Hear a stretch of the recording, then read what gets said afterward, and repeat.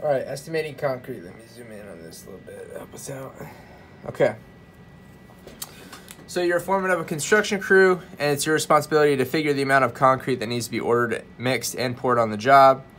And then we're gonna have a couple different jobs for us to do. So I'm gonna walk us through some examples. First of all, uh, concrete is ordered in cubic yards. Um, so we'll talk about that for a little bit. You're gonna find the width, the length, and then the thickness of the slab. So basically you're gonna find what we call the volume of the slab and divide it by 27. Okay, and the 27 comes from cubic feet in a yard. So there's three feet in a yard and three cubed is 27. So that's where that comes from. All right, so looking at this slab down here, really simple. We have 18 times 36 and we have to multiply it by four inches. So notice that this is inches and these are feet.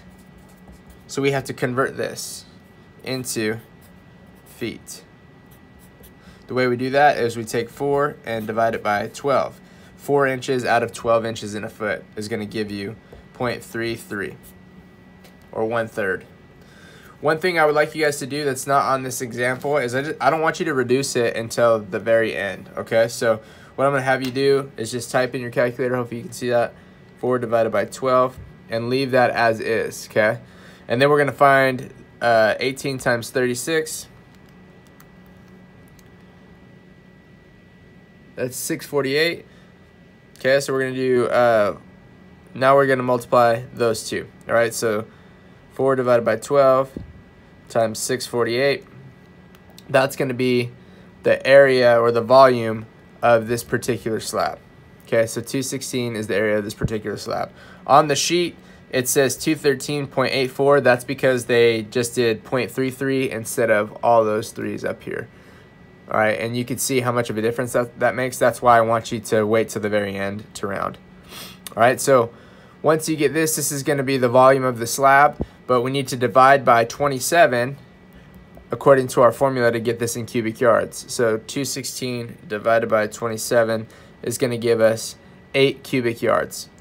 So this particular slab is going to be 8 cubic yards, which you can see this is 7.92. They rounded a little bit short. We would round up for this anyway but 8 cubic yards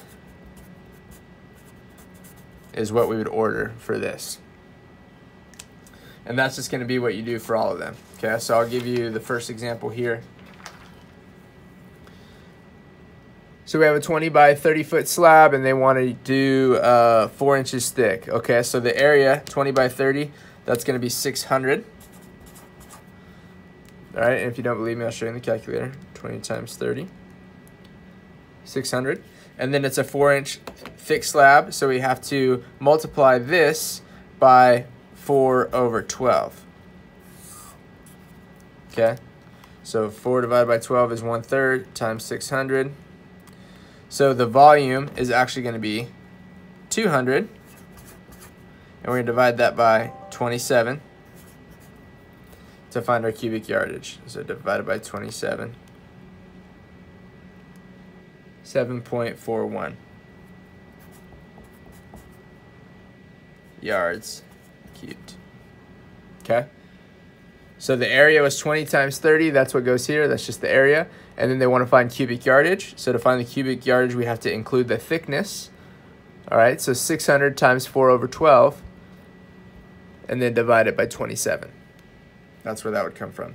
All right, so then what we're gonna do, I'm gonna skip the six inch because you guys could do that. This is just gonna be six divided by 12 or 0.5 times whatever your area is.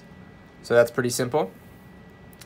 But we're gonna come down here and actually, um, I don't necessarily agree with this math on this particular worksheet, but I'm gonna show you guys how to do it according to this worksheet. And then tomorrow we'll go over some things that I think might be wrong on this.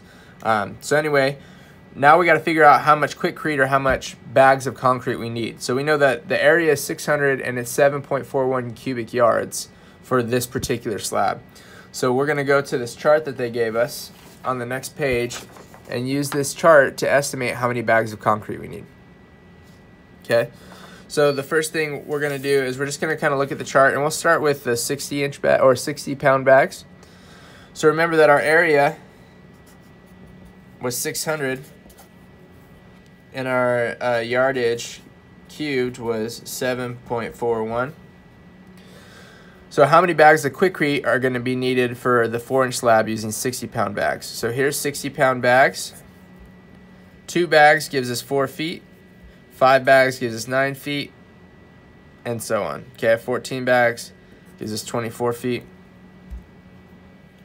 So what we're going to do is we're going to take the square footage of the highest one. So 24 square feet equals 14 bags. So we're going to do 600, because that's our area, divided by 24.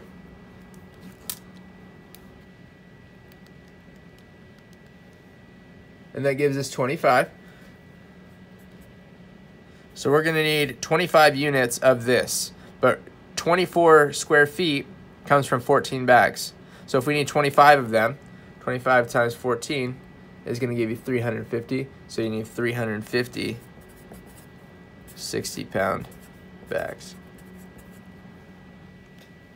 Okay, just to show you that again, now with 80 or uh, with 80 pound bags. So 80 pound bags, we have the 24 right here. So we're gonna do 600 divided by 24 because that's the highest square footage that they gave us in the chart. That's still 25, but now we're gonna multiply 18 because for the 80 pound bags, you need 18 bags to get to 24 feet. So times 18. 25 times 18. It's going to be 450. So 450 pound, uh, 450 bags of 80 pounders and 350 pound, or 350 of 60 pound bags. So that's how you would estimate it.